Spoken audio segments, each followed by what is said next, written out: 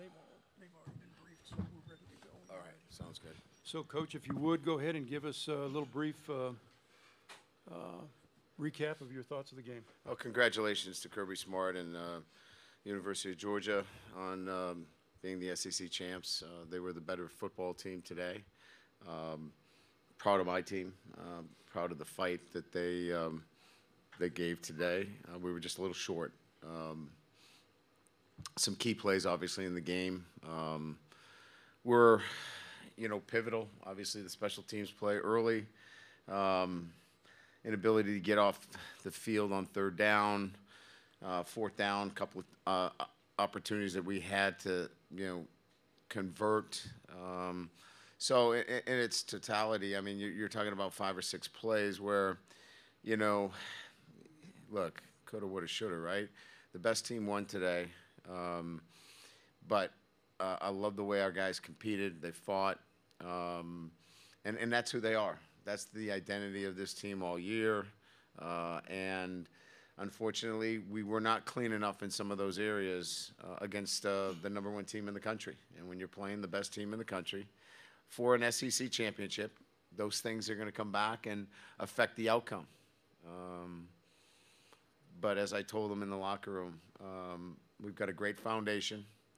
Um, it's a young football team uh, that will take uh, this lesson and um, build off of it. And um, I'm so excited to have the opportunity to coach them. Questions uh, for Coach Kelly or the players at this time? And if you would, please identify yourself and your affiliation. If you'll raise your hand, we'll get a phone, get a microphone to you. Uh, Jacques Doucet, WAP-TV in Baton Rouge. Coach, on the block field goal early, do you feel like your guys weren't coached on that? They got confused? What do you think happened on? Obviously, uh, we did a poor job coaching.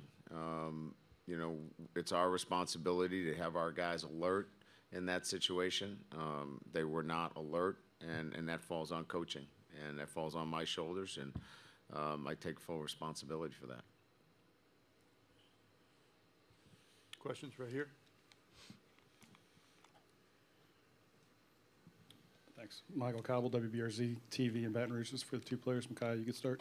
Um, just the fight that you guys showed in this game, obviously getting down early, the situation with the quarterback going out, Garrett stepping in, just the ability to, to fight through that, to kind of show who you guys have been for most of this season. What are you going to take away from this game, despite it not going the way you wanted it to?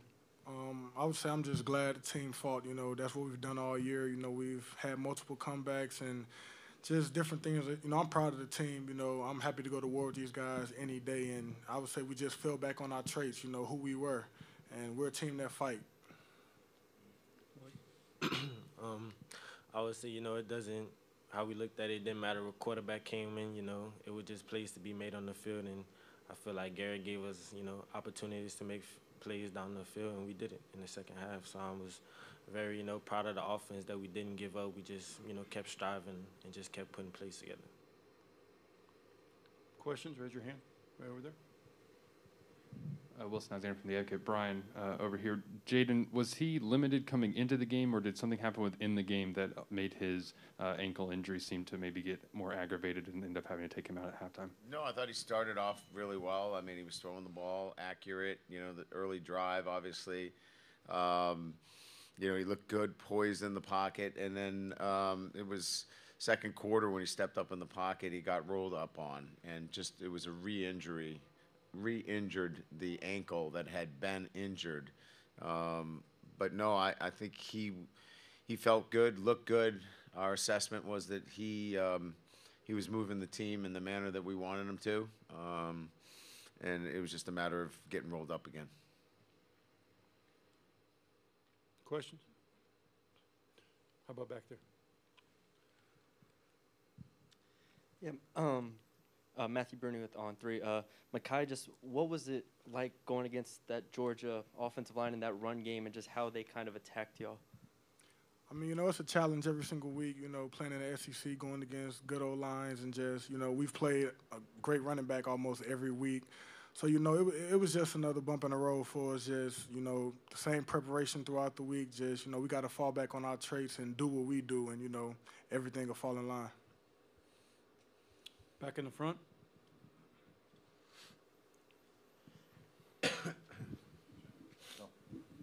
Uh, Coach, you're an analytical guy. You studied those analytics. Were you surprised they went for two to make it 50 in the fourth? Um, not really. You know, I don't get too caught up in what other teams are doing. It's not my job, you know, to really. It's my job to stop them, not to figure out whether they should go for two or not. So, um, no, I, I really didn't give it much thought. Right there. Brian, you talked about not being, not playing clean today, but was this also kind of an illustration of how far this team needs to evolve and kind of go? Do you see them being at a, at a different level where you guys need to be? Uh, not really. I mean, look, I mean, I'm not going to sit here and say woulda, coulda, shoulda, like I said in my open comments. But if we're just, if we just do a little bit better job on a, on a field goal situation, you know, take seven off the board, it's 43 points, and you know maybe we convert that, it's it's 37. Um, you know, you, you got a, a one score game. You know what I mean? And and so now you got a one score game going into the fourth quarter. We get stopped on fourth and inches. That's a pretty close game. So the the divide is not huge, um, but we got work to do. As I told our guys, you know, and it's it's 24/7. It's not just on the field. It's it's how we do things aw- away from the building. It's it's every day in the classroom, in the community, all the little things that are going to allow us to be more aware and to be better communicators and have an attention to detail in all those areas. Um, we got to continue to develop our football team, but this foundation is is really strong, and uh, we'll be able to um, uh, continue to build on it. Um, but I don't believe that the gap is um, something that we can't uh, continue to close and um, get back here again next year. That'll be our goal to get back here and to win it. More questions?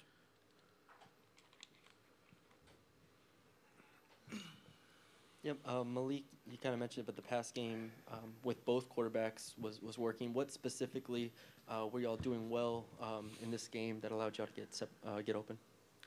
Um, you know, it was just, you know, our guys just playing, you know, being better than other people, you know, just pushing the ball down the field, creating matchups with speed guys, with other guys in the cornerback position. But, you know, I feel like Garrett just gave us, you know, opportunities down the field, you know, just trusting us to make plays. And, you know, we came out and made those plays. Yeah, Brian, just about Garrett's play today, some good and some bad. Uh, Yeah, I mean, he did some really good things. He's called upon to come in and be aggressive, which he was. And, you know, for a guy that, that's coming in off, you know, not playing a lot of football, um, really pleased.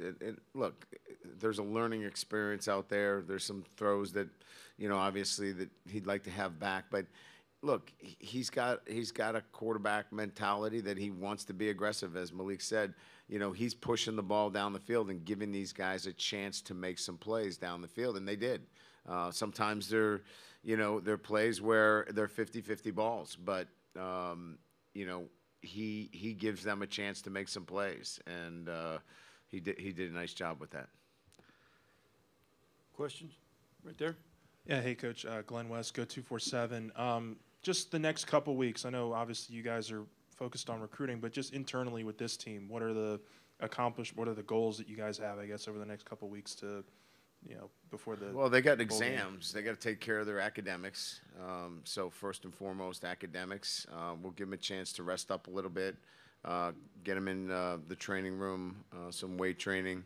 Uh, we have our end of the year banquet where we're going to celebrate our seniors uh, on Sunday uh, and um, thank them for what they've contributed to an SEC West championship.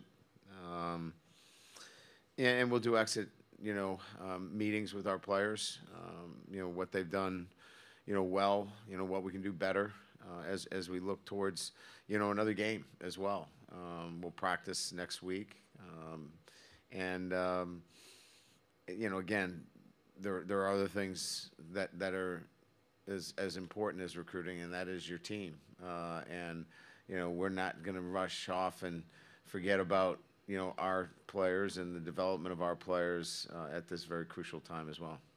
Just a few more questions back there. For either uh, Mekhi or Malik, uh, Jayden playing through that in the second quarter, um, particularly maybe the last drive when he came in, and he was clearly very limited to lead you all to a field goal. What did that tell you about him?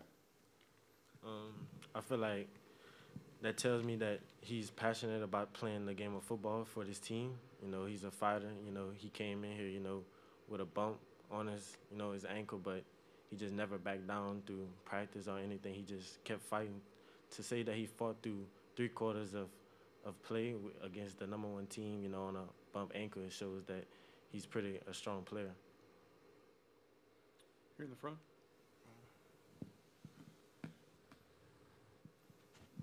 Guys, for the two players, I'd like both of you to answer it, not necessarily personally for yourself, but speak for the team. The idea of looking forward towards a bowl game. Clearly, the, the end of the season didn't finish the way you wanted it to, but you still have one game left to prepare for, a chance for a 10-win season. What are your thoughts, I guess, as far as that goes?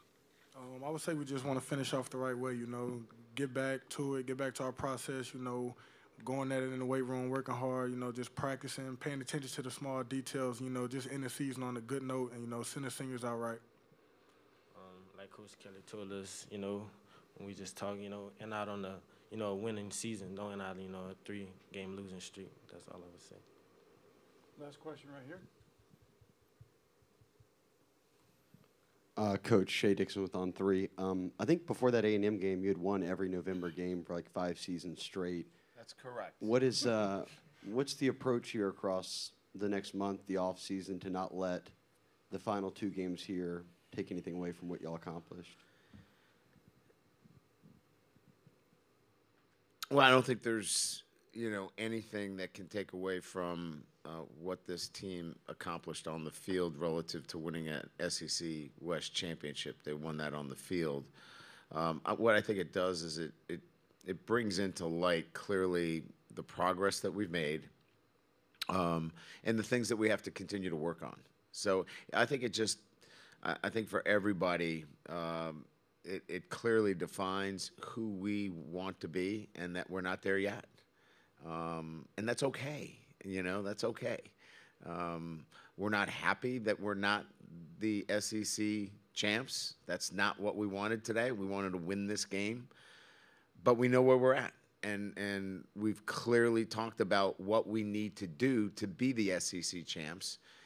And uh, that's okay. We need to go to work and um, get better at the things necessary for us to be um, better collectively, individually, and uh, as a football program. All right, Coach and guys, thank you very much. Appreciate your time.